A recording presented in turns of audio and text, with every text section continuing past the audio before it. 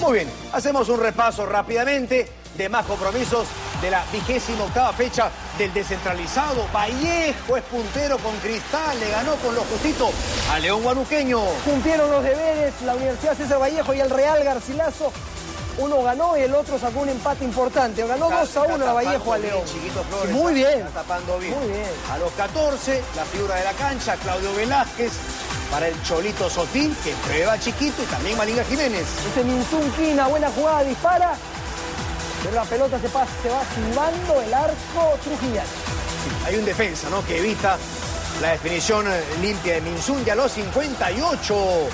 Su primer tanto en el rehén del torneo peruano. Este le va a venir bien a León Sí, de delantero. Sergio Almirón tras centro de Minsun Quina, que ya pide selección. Después se invierten los roles, ¿no? Porque es Carioco Velázquez quien asiste a Sotil cuando habitualmente es al revés y Sotil define con maestría. Se equivoca Johan Vázquez ahí, ¿ah?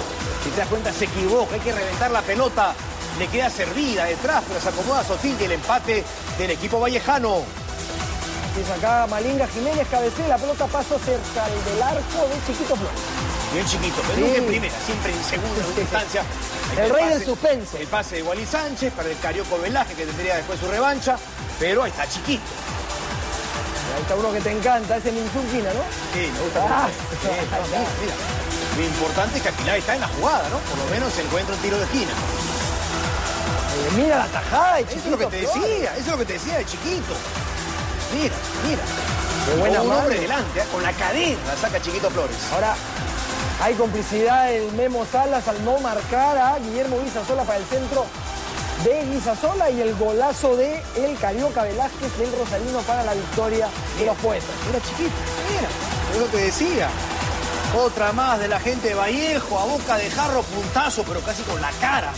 La saca Chiquito Flores, buena victoria de Vallejo, que está con 52, igualado en la punta con Cristal. Y así ¿Qué arre- pasa con la San Martín de Capa? ¿Qué pasa?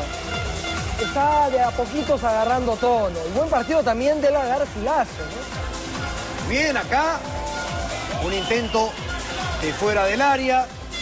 Juan Carlos Sodar para Uribe que remata. Y luego el intento también para mí de Ramos, ¿ah? de lo mejorcito que ha llegado del extranjero al Perú en los últimos tiempos. Y es un equipo, la Garcilaso, consciente de sus limitaciones y de sus virtudes, potencia sus virtudes y trata de suplir sus ¿Qué pasa acá con Corso?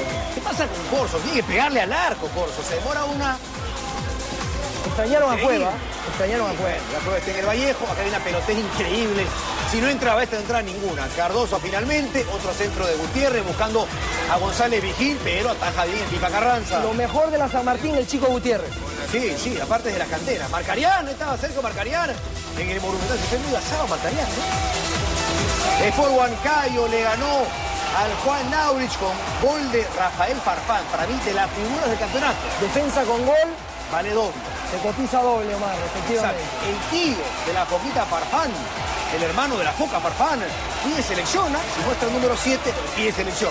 Y es ídolo en la incontrastable. Muy bien aparece por detrás de toda la defensa de Laurich. Tres puntos de oro para Sport Huancayo que está en zona de Copa Sudamericana en puesto Y 6. también de oro los tres puntos que consiguió en entidad frente al José Galvez. El único tanto del partido, obra de Ricardo Ricky, Ricky Pérez. Así es, el Inti está séptimo, quiso defender la casa en Ciudad de Cumaná. Fue en la victoria frente al José Galvez Chimbotano que está en el puesto 4.